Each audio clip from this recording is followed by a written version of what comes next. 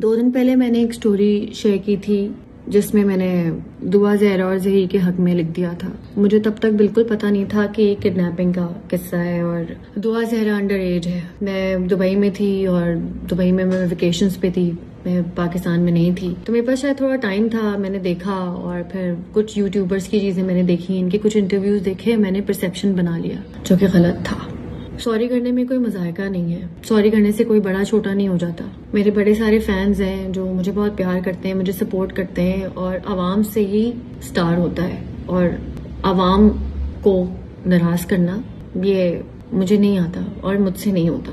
तो आई am sorry अगर आप लोगों को मेरी तरफ़ से तकलीफ़ पहुँची है। इनफैक्ट मुझे भी पहुँची है। जब मुझे पता चला कि दुआ जहरा का केस क्या है जब मानी ने मुझे सारा बताया बिठाया दिखाया तो मैं काफ़ी परेशान हो गई उनके पेरेंट्स के लिए कि किस कर्ब से वो गुजरे होंगे।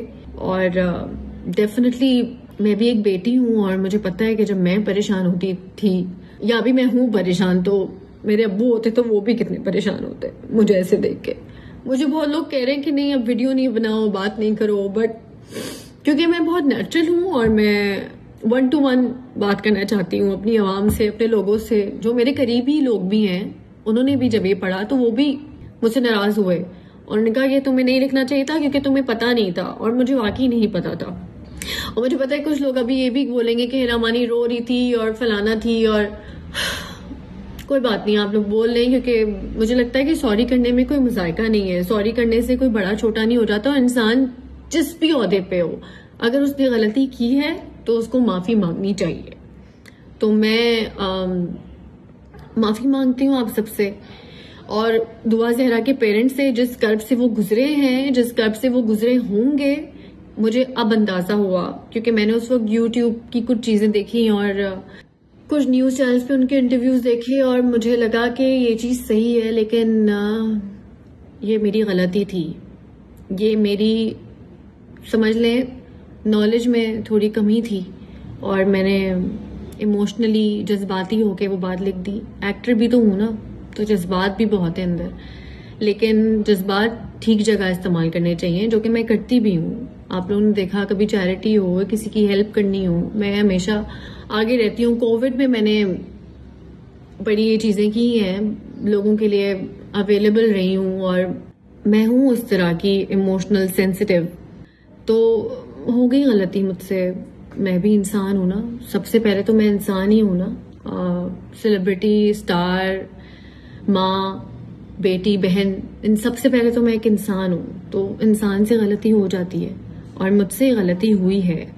और मुझे सॉरी करने में मुझे बिल्कुल भी शर्मिंदगी नहीं हो रही है क्योंकि सॉरी करना चाहिए जब आप गलत हों। और आ, मैं गलत हूँ अभी। मैं चाइल्ड मैरिज के हक में बिल्कुल भी नहीं हूँ। और आ, मैं डेफिनेटली किडनैपिंग के हक में कैसे हो सकती हूँ? मतलब ये लोग जो इतना ज़्यादा जाके मेरे बारे में लिख रहे हैं मुझे इस चीज़ से भी बड़ा दुख है। तो मिल आकर के बाद देखिए मुझे ऐसी वीडियो बनानी पड़ी। क्योंकि मैं गलत थी और बस मैं गलत थी, मुझसे गलती हो गई और मैं काफ़ी परेशान भी हूँ दो दिन से। मैं आई हूँ पाकिस्तान, में कराची आई हूँ, मैं किसी से भी नहीं मिली और मेरे फ्रेंड्स जो अभी मेरी फैमिली मुझे जो सपोर्ट कर रही है, उन सबने मुझे कहा कि तुम्हें आवाम से डायरेक्ट बात करनी चाहिए और बस मैंने इसलिए आप लोगों से डायरेक्ट बात की और दुआ जहरा के पेरेंट्स से भी मैं माफ़ी मांगती हूँ, क्योंकि मैंने ये गलत पोस्ट डाली और please I am sorry extremely sorry Allah ताला दुआ जहरा को, उसके पेरेंट्स को, उसकी फैमिली को अपनी हिफाजत में रखे और हर बेटी को और हर बहन को, हर लड़की को अपनी हिफाजत में रखे।